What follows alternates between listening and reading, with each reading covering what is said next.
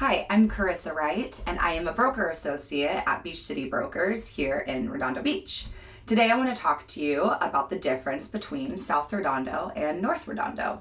This is going to be a two-part video series, so today I'm talking just about South Redondo. South Redondo, one easy way to know that you're in South Redondo is by the zip code.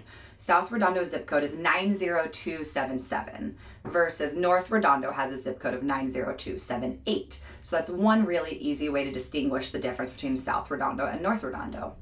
South Redondo is the area south of 190th.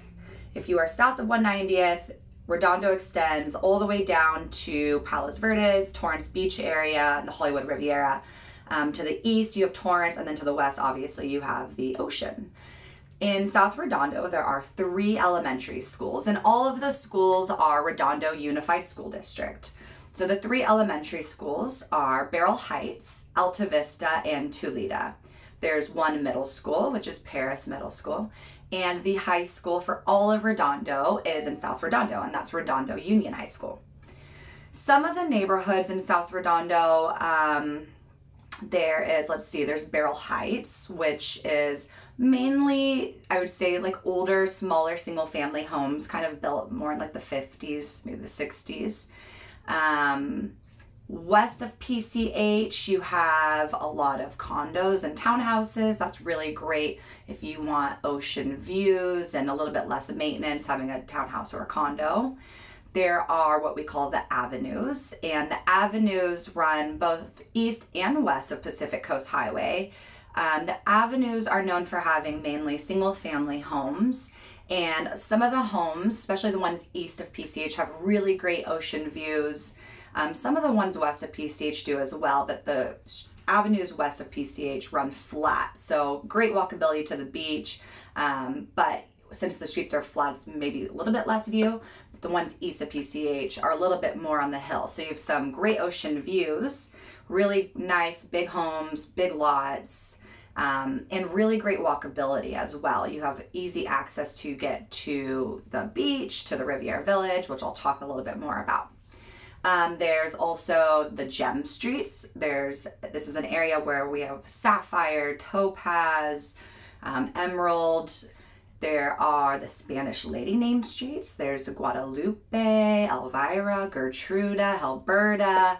Um, this part of the neighborhood also extends east and west of PCH, and same thing, the homes east of PCH have typically pretty great ocean views because they are in a little bit of a hill as well. Um, and then lastly, there's the Hollywood Riviera. And the Hollywood Riviera, it's a little confusing because the zip code and part of the Hollywood Riviera is 90277. So you do have a Redondo Beach address. However, it is technically Torrance. And this is something that gets really confusing. If you buy a house in the Hollywood Riviera, in the Redondo part of the Hollywood Riviera, so 90277, your kids will actually attend Torrance schools. You'll be dealing with Torrance for any type of improvements or anything of that nature. So that's a little confusing. Hollywood Riviera is actually technically Torrance. Um, let's talk a little bit about home values. So in the last six months, single family homes in the Hollywood Riviera ranged between 1.3 million to 14 and a half million. The 14 and a half, there's some really great homes right on the bluff overlooking the ocean. Huge homes, big lots, um, oceanfront properties. So that's where the 14.5 million comes in. The median was 2 million and the average lot size is about 6,800 square feet. So really nice big lots for this area. Um, if you go north of Torrance Boulevard, so this extends north of Torrance Boulevard and south of 190th, the single family homes ranged from 1 million to 2.7 million, with the median being 1.5 million.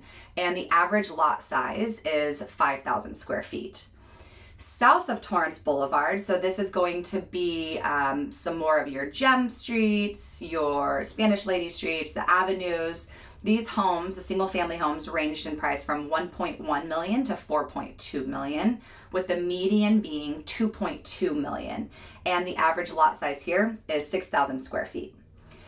West of PCH, um, single family homes on this part of the neighborhood are ranging from 840,000 to 3.7 million, with the median being 2.3 million, and the average lot here was about 5,400 square feet.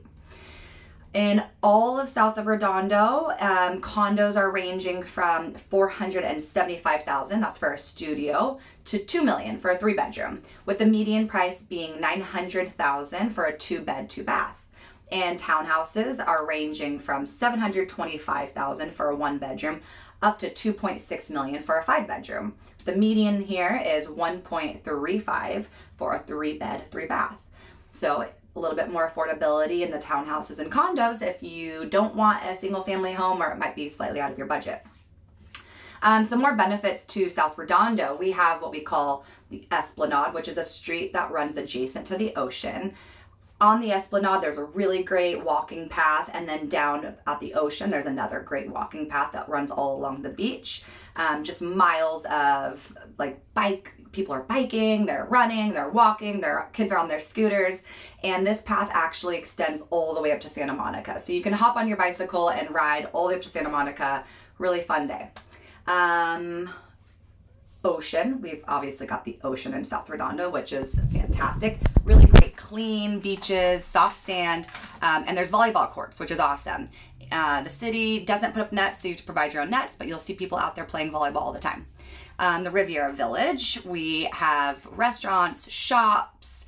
Um, it's just a really great like little village area. There's grocery stores, and ever since COVID, there's now outdoor dining, tons of outdoor dining. They put up these really great dining decks, so you can sit outside, eat, drink, shop. Really great little fun downtown area. Um, and lastly, we have the pier and the harbor. So King Harbor is really well known. It's a large harbor, both um, both commercial and sorry, both commercial and recreational harbor. I got my notes. And um, the pier is shaped like a horseshoe, so it's really cool, like big, long horseshoe shaped pier that people know. As you can see pictures, you'll know it's the Redondo Harbor. Um, and you also have restaurants and bars here, really great walkability, good sightseeing, um, lots of activities to do. So there's stand-up paddle boarding, you can do like whale watching, there's fishing boats, um, I think there's even like a little like paddle boats. So there's all sorts of activities that you can do in the Redondo Harbor as well. Um, and then there's also hotels. So if you have friends that are visiting, there's I think three hotels down in the harbor area. And you can easily access Hermosa from that area also. So great to hop on your bike or even to walk into Hermosa from the pier area. That is my recap of South Redondo. For a second, I thought I wasn't recording, but thank God I am. Uh, that's my recap of South Redondo. So the next video, I'm gonna talk a little bit about North Redondo and how it is different from South Redondo. Thanks for checking out my video and feel free to reach out if you have any questions about living in Redondo Beach.